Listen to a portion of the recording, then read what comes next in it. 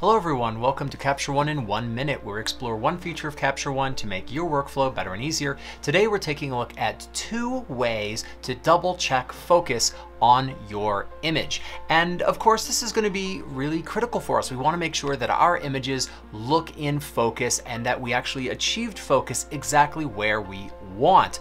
So the very first way is the focus mask. Now, if you don't have the focus mask up here in your toolbar, I would do so. You can come to customize your toolbar, and then what you wanna do is just find the focus mask, which this is it right here, and just pull it onto your toolbar.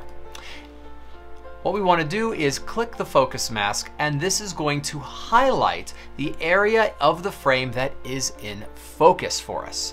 One thing I'd like to note with this is that it is highlighting in green and the amount of sensitivity is something that you get to decide. So if I come up to preferences, click on focus, I can actually decide not only what color do I want this to look like, how easily do I want to see it with the opacity slider, but the threshold. So in other words, how sensitive am I going to be to areas that are in focus?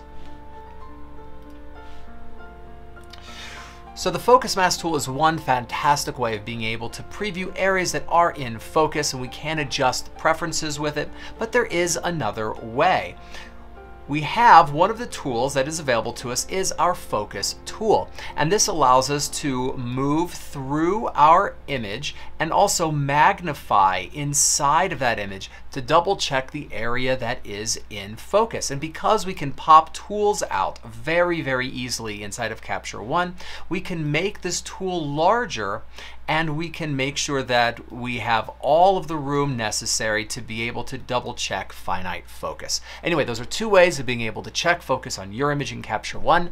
Thanks for joining me today. I'll see you next time.